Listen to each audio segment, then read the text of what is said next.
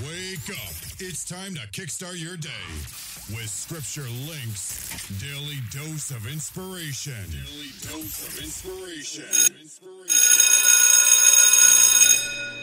Good morning and welcome to this brand new day. This is Scripture Links Daily Dose of Inspiration for Tuesday, March 29th, 2022. And as you wake up and you begin this brand new day, Thank God for this day. Commit this day to Him. Use this day to bring glory and honor to our Lord, and use this day to share your faith with someone and encourage somebody.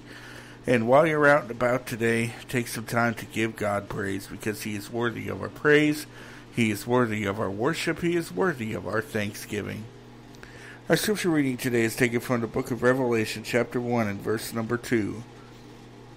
We read, Who bear record of the Word of God and the testimony of Jesus Christ and all, all things that he saw. Friends, we know that, that John, the disciple John, uh, is the one who has recorded what we read in the book of Revelation. Uh, we know that he was in exile at the time and he was brought up to heaven to see the things which was going to take place at the end times. Uh, going right up into the return of Jesus, the great white throne judgment, everything that we need to know about the end of the world as we know it. And John recorded these things in a book that we call the Revelation. And John is saying here in verse number two that he is the one that has bear, that is bearing record of the word of God and the testimony of Jesus and of all things that he saw. John saying, I I I I seen this. I was an eyewitness to this to these future events. And I bear record. I, I put my seal of approval on it. I put my stamp on it. I, I, I tell you that what I've written is my testimony, and it's 100% true. You know, most most people won't believe something unless somebody is there to to be the eyewitness to what had happened. And it seems that an eyewitness to every event that takes place is somewhere out there. And John is saying, I am the eyewitness to these events that I'm written here. I've written down here. So he's not only the eyewitness of the things that are coming, the things, the prophecies written in the book of Revelation, the things that are coming, but John is also the eyewitness to the things that are past. Go with me to John chapter 21 and verse number 24.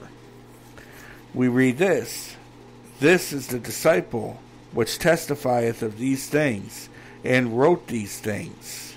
And we know that his testimony is true. John's talking about himself here. He says, I am the disciple. This is the disciple which testifieth of these things and wrote these things. In other words, John is saying, I am an eyewitness to the things which has been written in here, in his letter, in his book. I'm an eyewitness to these things.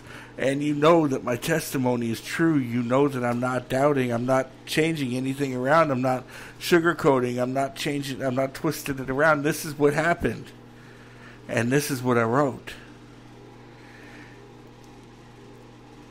And then we go down to verse 25. I like this verse. That's why I want to include it here. He says, And there are also many other things which Jesus did, the which, if they should be written every one, I suppose that even the world itself cannot contain the books that should be written. Amen. John saying Jesus did so many things that the world cannot contain all the books that should be written. But John wrote his book and has testified that that what he has written there is true and what he has written there is exactly what had happened and what took place. And John's testimony is true. We can trust it. We can believe it. Just like just like we can trust his testimony to what he's seen in the future. In the book of Revelation, we can trust his testimony to what he's seen in the life and the journey of Jesus right through the death and his resurrection. Friends, if you are one of them people that don't believe anything unless you see it yourself or unless there's an eyewitness person to see it, John's the one you could look to because he saw not only what Jesus did, but he saw the things to come.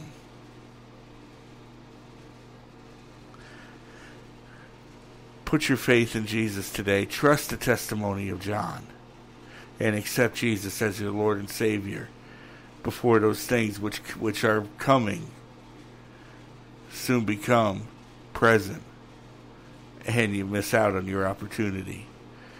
Get Jesus today, accept his his gift of salvation and make sure you're ready to go at the time of the rapture. Think about that as you go through this day and remember get into God's word and allow God's Word to get into you and then share that Word with someone today. Have a blessed day.